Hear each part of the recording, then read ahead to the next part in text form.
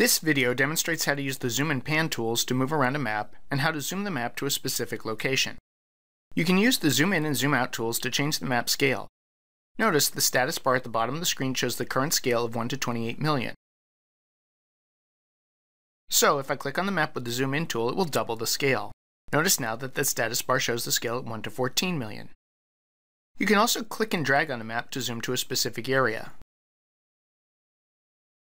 If your mouse has a scroll wheel, you can also roll it away from you to zoom in, or roll it towards you to zoom out.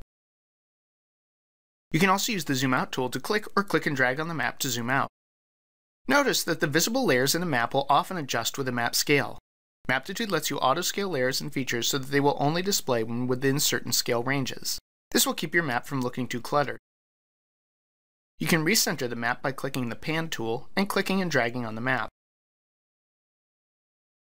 Use the Find feature to zoom to a particular location or map feature.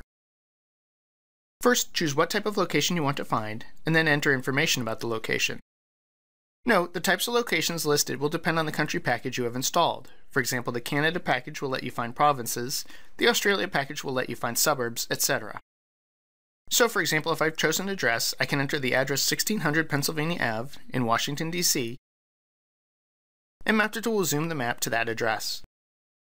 You can also retrace some or all of your changes to the map with the previous scale and initial scale buttons. For example, if I click the previous scale button, Maptitude goes back to this scale.